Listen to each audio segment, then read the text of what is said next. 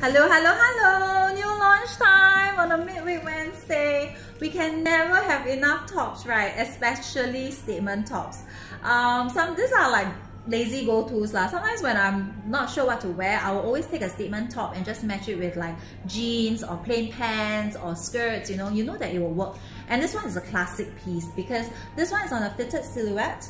So it means that you can play with all sorts of bottoms, flare, palazzos, fitted, skinny jeans, whatever. So if you want to invest in a good top, you must really invest in something like with this kind of fit okay so this is very urban vibe but yet very heritage because it's like on this uh, batik stamp print kind of uh, denim on batik florals okay so it's like a mixture of both but you can see the whole feel is very um, vibrant and yet very uh, contemporary and modern okay? So this one is on cap sleeve. So for the customers who like to hide all these things. This is for you okay? On a very simple round neck okay? And there's some batik patchwork right here as well. Very very cute okay? I really like how it tucks in. Uh, very very slimming for this one.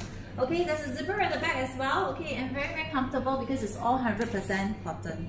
Okay? So bringing you the close-up okay? So a lot of pieces from this range will all be like you can see some two tones on it the batik patchwork you can close up on the prints. Very very cute.